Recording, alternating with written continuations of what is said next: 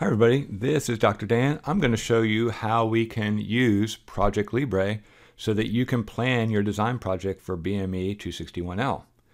Okay, another piece of software called Microsoft Project is the really useful, important, pretty ubiquitous piece of software for, project management.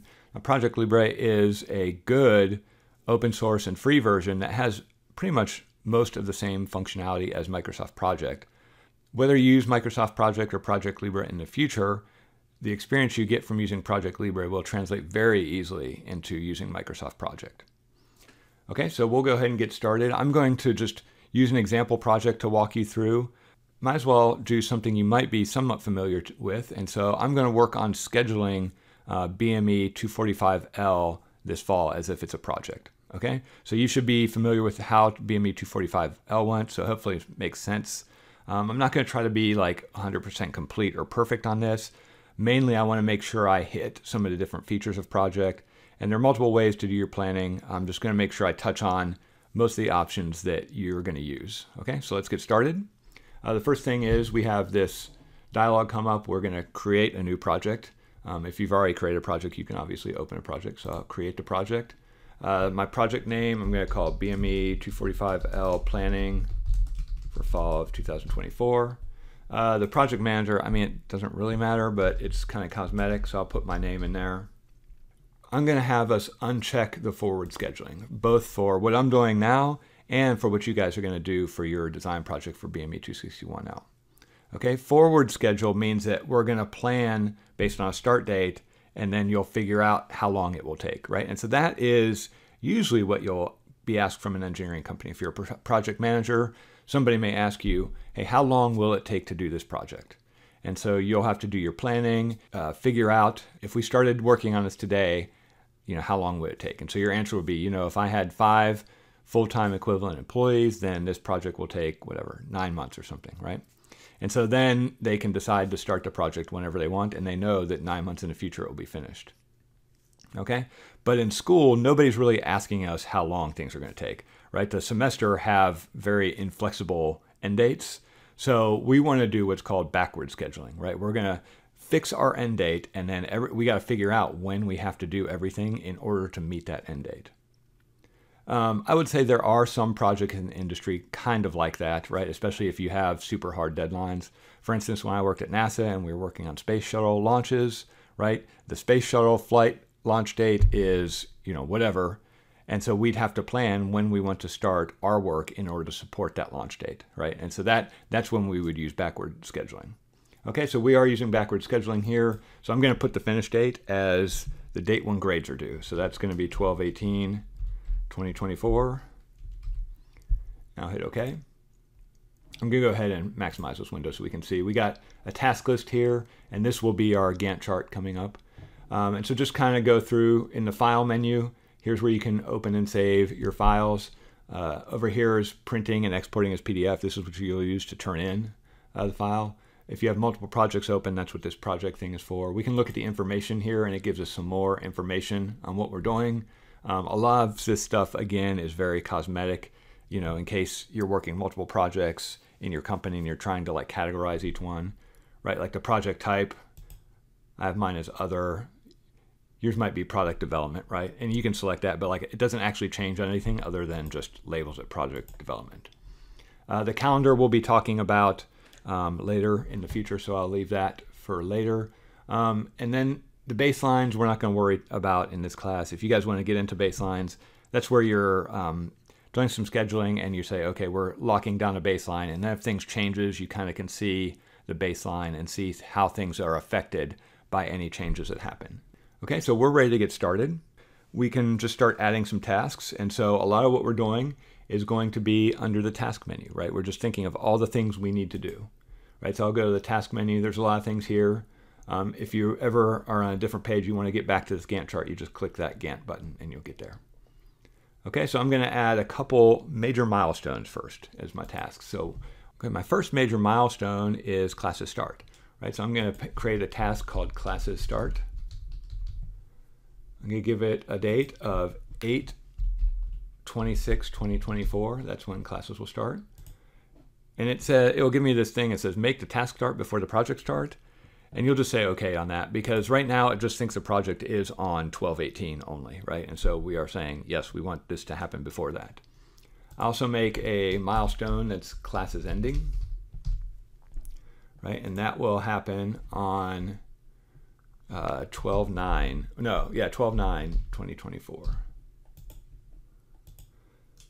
Okay, and what I'm going to do is set the duration for these for zero days. And you can see what happened on the Gantt chart is it changed that to a diamond, which means it's a milestone. Right, and I go out here and you can see that milestone as well.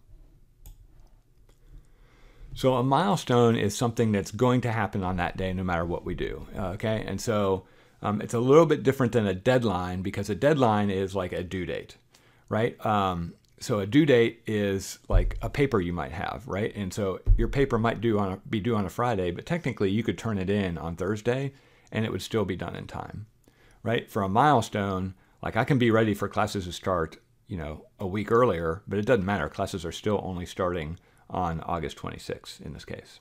Okay? A milestone in your class might be things like the uh, requirements review, um, the design review, right? Those things are happening on certain days. The final presentation, right? There are no, there's no getting around that. Now that I have these two milestones, I'm going to put in all the tasks that I think need to be done for successful completion of BME 245L. And so I'm going to start by just major phases, right, which is the same thing you should do, and then we'll add some details. Right, so one of the first things I need before classes start is I need my, a planning phase, right, where I do all my planning. So I'm going to go and click on this row and I hit the insert, which will insert one above it. So I'll just type planning in here. Okay, I'm not going to worry about the uh, start time or the uh, the number of days just yet. we will get to that. But you can see it, it left it on 1218 because that's when our project ends. So it's like, well, you can do that at the very end if there's not if there's not a reason to do it before then. Okay, in between classes start and end, I'm going to insert a couple phases. Uh, I'm going to, there's two major parts here. One is the cell culture part of 245L. The next one is the mechanical testing. And the other phase I was going to leave is uh, the exams, right? So uh, just to have a, a, separate phase for thinking about when the exams will be. And then after the classes end, I'm going to add a phase that's basically finish grading, right? Finish everything up, submit grades. Okay, so I'm not going to worry too much about the duration and the times at this point. Uh, the one thing I do need to add, which I want to add to finish grading, is that, okay, we do have a due date for finish grading, right? So if I go and double click on finish grading, it brings up this dialog, right? And so it has my start and end date, but I'm going to head over to advanced, right? And so right now it's saying do this as late as possible, okay? And so then it will just do it when it can, right? So that, that's typically what you do. Usually you want it to procrastinate for you and figure out, okay, when do you need to start to get this done in time? But we want to put a deadline in there. So my grades are due 1218, right? Okay, I see this X over here. That means something's up. So I double click. Okay, my deadline I typed 04. So 24. That's better. Okay, so I can scroll over and now I can see, okay, there's this yellow triangle, which is my deadline. I also see, okay, I'm going to tell you right now, ProjectLibre is a little bit frustrating because clearly I put the classes end on 12.9 before, but for some reason it felt the need to move it to 12.18. Okay, so I'm not sure why it chose to do that. Um, see, it says start no earlier than 12.9, which is when I put this milestone. I'm gonna, I'm gonna like this is how you can fix things, right? Is I just say must start on 12.9, and I'll hit close, and that did move it to 12.9. I'll, I'll just tell you, I run into these silly things all the time, whether using ProjectLibre or Microsoft Project. Uh, and so then you just have to figure out how to fix it. Okay, and so I just fixed that right there. So the last thing I want to show you is that, okay, right now it thinks, hey, we don't need to finish any of these things until 1218, so I'm going to schedule them all for right before they need to finish, and we'll just finish them all on that last day, because all of them will take one day, and they're going to finish on that last day. But we know that's not how it's really going to work. So one of the things you need to do is set what things have to happen before other things. So there's this column called predecessors if we expand it out over here. Okay? And so for instance, I don't want classes to start until after my planning has finished. Okay, so I'm going to put in this column or in this row, line two, I'm going to put one, which means row one is a predecessor. Right, so I hit enter on that, and now I can go back to my Gantt chart, and you can see it moved uh, this planning phase in front of classes start, and it put that arrow there. Okay, it also changed it red, which means that's on the critical path. I'm not going to worry too much about what's critical and what's not critical, but that just means you can't move on until you get that task done. And then we have some other predecessors we can set. So instance, cell culture can't start until classes start. So I can put cell, for cell culture, I can put a predecessor is 2. Okay, and then mechanical testing isn't going to start until cell culture starts, so I'm going to put that as 3. Uh, the exam, there is some overlap with mechanical testing, so I'm not going to mess with that too much. I'll leave that as I don't need a predecessor. Uh, but my finished grading, I can't, I can't like start grading until the exam's done. So I'm going to put uh, 5 there as my uh, predecessor. Okay, now if I go and look at my Gantt chart, now you can see it's got some things uh, scheduled out over here. And I'm not sure why it thought I had to finish grading before uh, classes end, but that's how it did, so I'm not going to mess with it at this point. Uh, so this is the general way that you're going to set up like the order in which your tasks are going to proceed.